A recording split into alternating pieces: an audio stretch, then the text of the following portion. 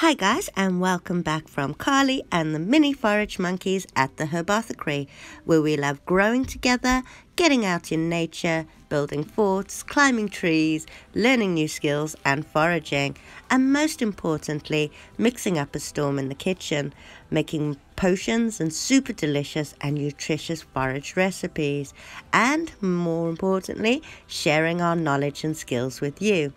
If you enjoy our videos, please hit like and subscribe and click our playlist link in the description below for more. Looking forward to seeing you all again soon. So for now, let's just get out there and have fun.